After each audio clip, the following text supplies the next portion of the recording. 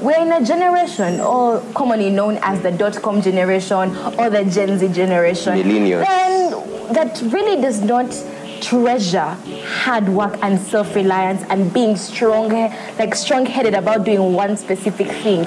We look at soft life as the way to go. Monica, what is soft life? Soft life. Mm. I know there are many ambassadors of soft life out there, so Like you? hopefully I represent you guys well. Mhm. What is soft life? Soft life is me having it when I want it, how I want it, to the degree I want it, without lifting a finger.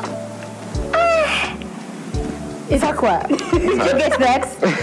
did you get what soft life is? All right, all right, but I would have another definition. Yes, please. First, talk about the ladies. Hmm?